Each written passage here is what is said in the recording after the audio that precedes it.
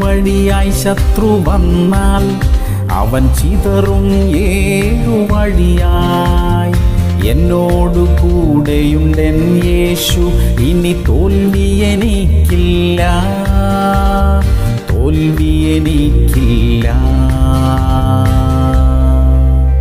സങ്കീർത്തനങ്ങൾ ഒൻപത് നാല്. നീ എന്റെ കാര്യവും വ്യവഹാരവും നടത്തിയിരിക്കുന്നു. നീ നീതിയോടെ വിധിച്ചുകൊണ്ട് സിംഹാസനത്തിൽ ഇരിക്കുന്നു. സഹോദരങ്ങളെ നിയമ നിയമക്കുരുക്കുകളിലായിരിക്കുന്നവർക്കായി ഇന്ന് പ്രത്യേകം പ്രാർത്ഥിക്കുകയാണ്. ദൈവം തന്നെ നമ്മുടെ ന്യായാധിപനായി നമുക്ക് ന്യായം പാലിച്ചു തരും.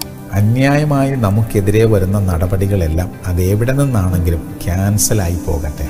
കള്ളക്കേസുകൾ തെറ്റിദ്ധാരണ കാരണമുള്ള നടപടികൾ എല്ലാം തള്ളിപ്പോകട്ടെ. നമ്മിൽ ആർക്കെങ്കിലും എതിരെ കോടതിയിൽ കേസുകൾ ഉണ്ടെങ്കിൽ അതെല്ലാം വേഗത്തിൽ തീർപ്പാകട്ടെ. നമ്മൾ ദൈവമക്കളല്ലേ നമുക്ക് ന്യായം ലഭിക്കും. പ്രാർത്ഥിക്കാം. ഞങ്ങളുടെ നല്ല ദൈവമേ നീതിമാനായ അങ്ങ് ഞങ്ങൾക്കായി നീതി നടത്തിത്തരുന്നതിനായി സ്തോത്രം. അന്യായമായി അനുഭവിച്ചുകൊണ്ടിരിക്കുന്ന വേദനകളിൽ നിന്നെല്ലാം അങ്ങയുടെ മക്കളെ രക്ഷിക്കണമേ. ഞങ്ങൾക്ക് നീതി ലഭ്യമാക്കുന്നതിനായി സ്തോത്രം. യേശു നാമത്തിൽ തന്നെ. അമേൻ അമേൻ അമേൻ